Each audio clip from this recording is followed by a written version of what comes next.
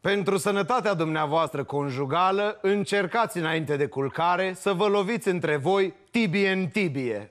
Am epuizat subiectul cu Gigi și cu penibila lui condamnare, dar rămânem în același tărâm al penibilului.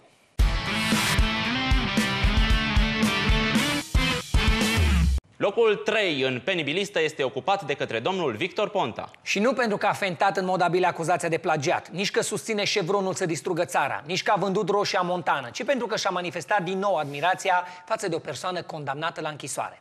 Declarația făcută înainte de condamnare, deci cu potențial influențator al justiției. Da, ai dreptate. Prima dată a făcut-o cu Adrian Năstase. Ha, ha! Știam! Eram sigur de când ne-am văzut tot timpul împreună Nu, că nu, nu, ăștia... nu, nu, nu a făcut-o. A făcut-o în sensul că și-a manifestat admirația. Acum, din nou, și-a manifestat simpatia față de un alt celebru încarcerat, Gigi Becali. Și chiar dacă a făcut-o din postura de persoană fizică și nu de premier, tot n-a dat bine faptul că și-a arătat afecțiunea față de un potențial infractor. E, l-a plagiat pe Băsescu, un alt prieten de al Becaliului.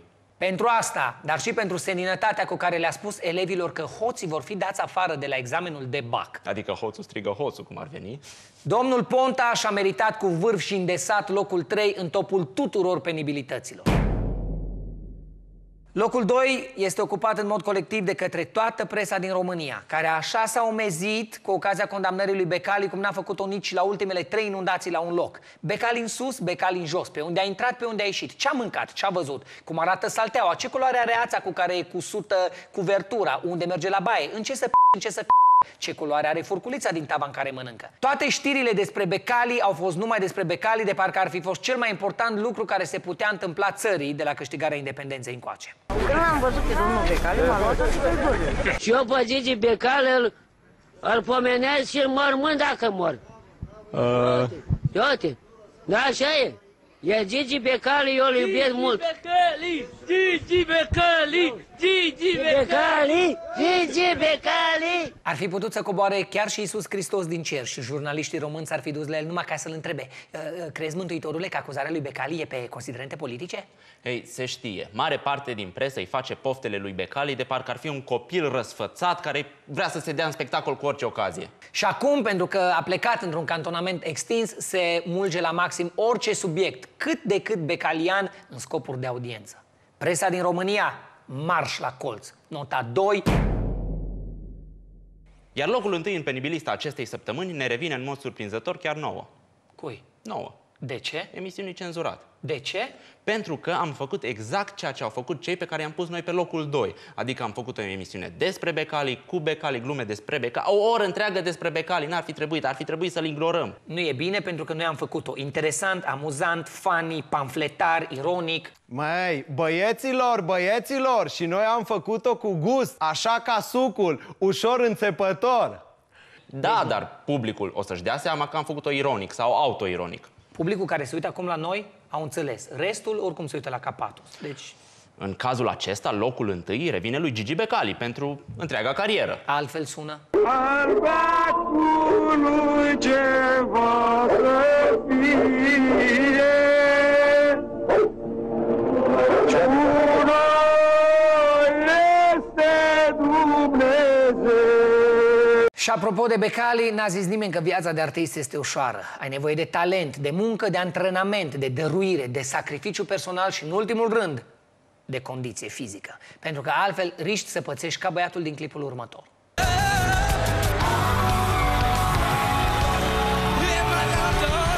Deși n-am zice că el e cel mai pățit dintre cei implicați, adică oricât mi-ar plăcea mie un artist, n-aș fi foarte fericit să-mi aterizeze pe gât. Probabil nici tipa n-a fost foarte încântată. Măi, mie nu prea vine să râd la asta pentru că mi-amintește de prima mea experiență sexuală. Mie îmi place cât de liniștit și-a văzut de actul artistic, chiar și după căzătură. A continuat să cânte, ba chiar a și luat-o pe fată de gât. Bine, altă fată, că prima nu mai era în stare. Oricum, tipa care i-a aterizat pe ceafă nu părea nici ea foarte afectată, ba chiar dădea și ea din cap pe muzică. da, da, dădea din cap ca și câinii aia din mașină. Ah, ce dormi de un, doi căței din, spate, din spatele unei daci vechi. Omul ăsta chiar știe cum să sucească gâtul femeilor. Și nu sunt sigur că a fost o căzătură. Nu, cred că a vrut să plonjeze în public, dar pe la jumătatea săriturii și-a amintit instrucția în arte marțiale din copilărie și nu s-a putut abține. Probabil că fata respectivă își dorea de mult să-i pice un artist în brațe. Și apropo de artiști, ții minte că am vorbit noi de băiatul ăla misterios de la România Dansează, ăla pe care nu știe nimeni cum îl cheamă sau ce face, băiatul ăla simpatic. George. George? Jorge. Jorge. Jorge. Dar ce cu el? Păi s-a apucat de cântat. Și nu numai asta, dar are și un videoclip nou superb. Vreau și eu, iubită stewardesă Un tată american și mamă suedeză Foarte înaltă și stilată Când ieșim în club să vrea doar apă plată Aha, deci un șofer de taxi care visează la stoardeze cu bani. Deci se poate să fii și sărac și cu pretenții. Ca și Cucu. Sau ca și noi. Cine a scris prostile astea? Și mai ales original, pentru că piesa nu mi-aduce aminte deloc, dar deloc de piesa celor de la Asia. Cea cu ea cu tine și inima, cu geamantanul, cu Asia, dar în principiu e același lucru. Dacă pleci peste ocean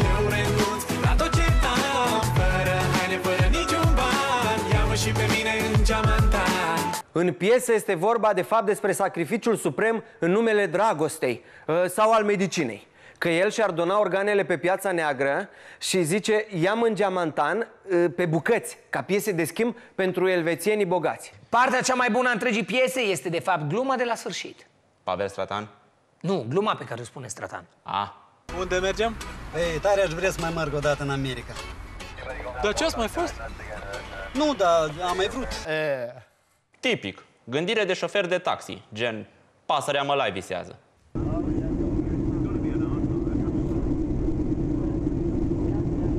Mai trebuie? Da.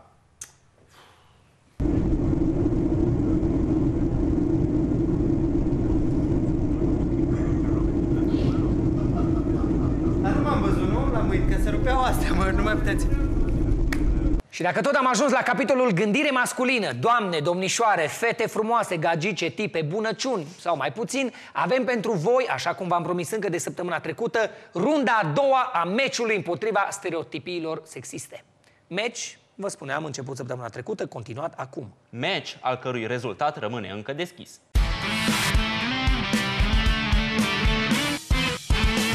Fetele, bărbații și orice cuplu normal nu se ceartă din cauza poziției scaunului de toaletă. Și nici a tubului de pastă de dinți.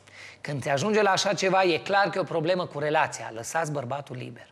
Facem noi scandal când trebuie să ridicăm colacul WC-ului? Ne. Atunci nu vă bulbucați că trebuie să-l coborâți după noi. Nu mi se pare corect că puteți obține tot ce vreți numai plângând. Bărbații adevărați nu plâng. Decât, poate, dacă și-au vărsat din greșeală ultima bere.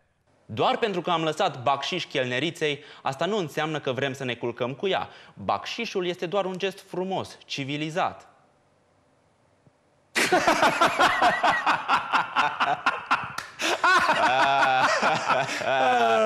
Mai puțin dacă e chelnerița urâtă. Ți-am spus vreodată cât ești de frumoasă? Nu? Nu e întâmplător. Nu ți-am spus-o pentru că ești urâtă. Femeile sunt ca detergentul. Când se termină, îți iei de la altă firmă pentru că ai auzit că spală mai bine și face mai multă spumă. Fetelor, fete, doamne, doamnișoare, nu puteți folosi ca argumente chestiuni pe care noi le-am spus acum trei ani, sau acum șase luni, sau acum nouă luni. Plus că orice ieșire la bere funcționează ca o formatare a memoriei pentru noi. Doar pentru că am dat like la o tipă în costum de baie, nu înseamnă că aș vrea vreodată să mă culc cu ea. Cică, din 200 de milioane de spermatozoizi, cel mai puternic câștigă. Ei, nu-i chiar așa. Uitați-vă la unele dintre voi cu ce specii din mezozoi umblați. Fetelor, dragele noastre, mai ales cele singure, care de câte un an n-ați văzut nu mai refuzați bărbații pentru că nu au replici bune de agățat. Toate replicile seamănă între ele pentru că și voi semănați între voi. Și nu vă lăsați păcălite de replicile de agățat. Ar trebui să vă intereseze mai mult replicile de păstrat. Ai folosit tu vreodată așa ceva? Păi aș folosi dacă mi s-ar da ocazia. Cum ți se dă ocazia? Dar umbli la petreceri. Tu când te duci la o petrecere, Tibi, tu ce faci? Nu încerci să agăți o femeie? Păi la ultima petrecere la care am fost eu, la petrecerea privată, cenzurat, ar fi fost destul de greu pentru mine ca să agăț o fată. De ce?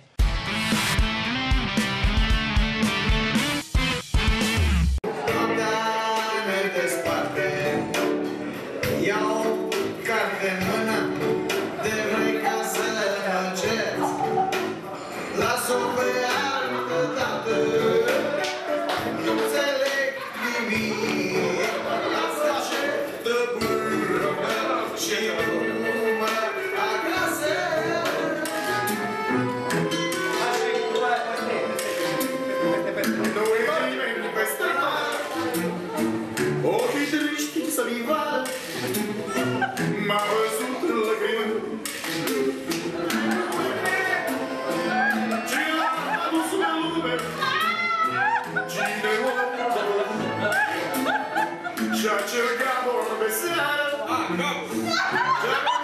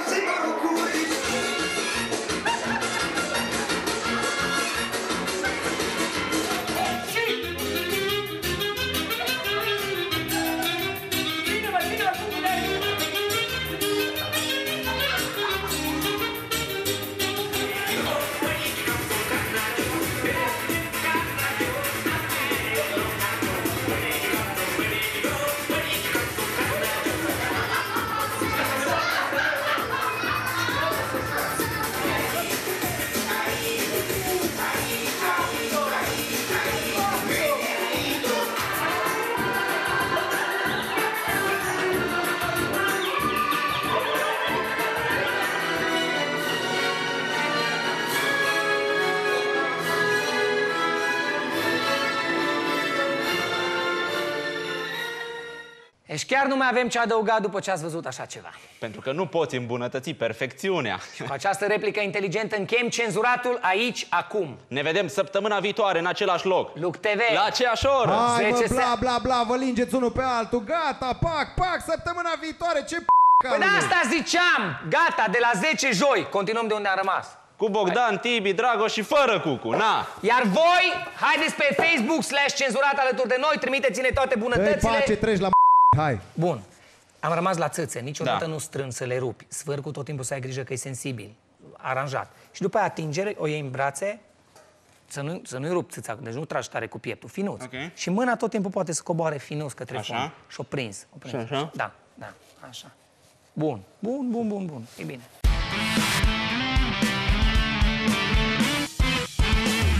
Bună jos. Bun. Te prostești.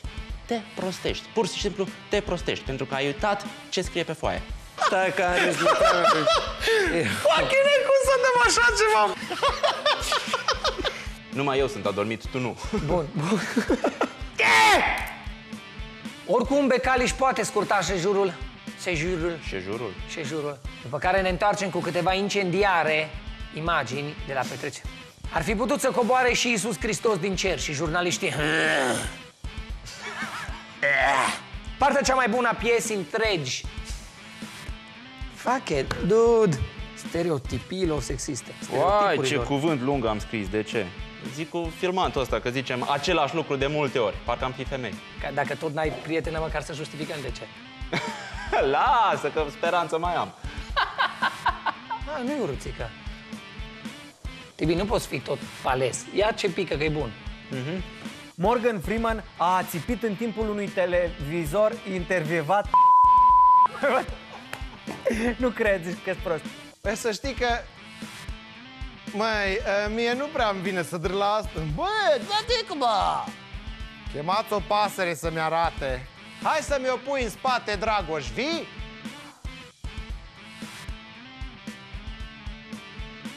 Le mai țin? Penele p- că mi s-a pus pe mine tot acum.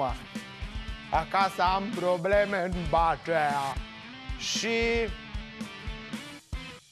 Cam asta este. Mulțumim pentru atenție!